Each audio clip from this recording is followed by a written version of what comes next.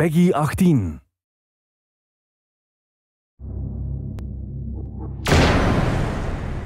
Hey guys, this is Tommy Jacob. I'm the creative director on Ghost Recon Future Soldiers multiplayer. We've got the beta finally ready for you. We're gonna have two maps, we're gonna have two game types, we've got the full character progression ready for you to unlock, and I'm here to give you the intel on what to expect.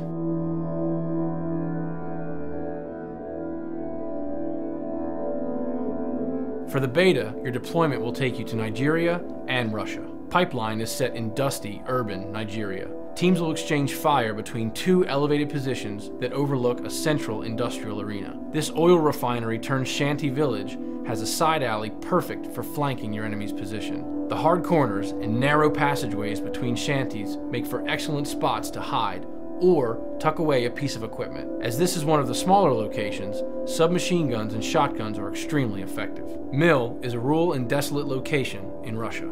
A small river controlled by a Soviet air dam cuts the space in half. Players can use three crossings to reach the other bank or risk traversing the open river below. The limited routes over the river make an excellent place to drop equipment. The light, misty fog and long range make snipers an extremely valuable member of your team and engineers can use the tall trees above to mask the movement of their drones. The objective areas often favor close quarters combat, making a fast moving engineer or scout a formidable foe through this agricultural village.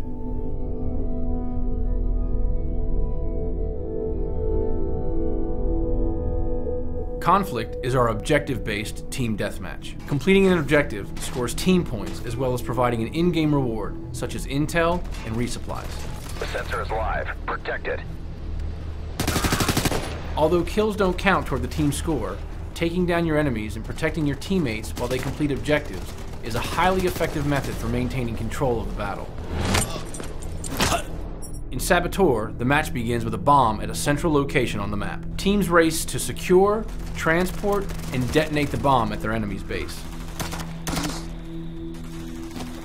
The bomb carrier sees an objective where the bomb needs to be planted. His teammates see this location as well as seeing the bomb carrier as an escort objective. Teamwork is essential for completing this highly challenging single objective.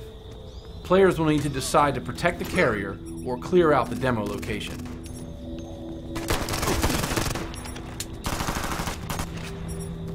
The team to detonate the bomb wins.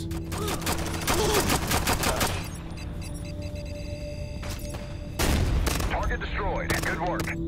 So now you guys have a little bit more information about the beta. Be sure to check out all the rest of the information that we have online. We'll be playing here from Red Storm and from the rest of Ubisoft. Thanks for watching.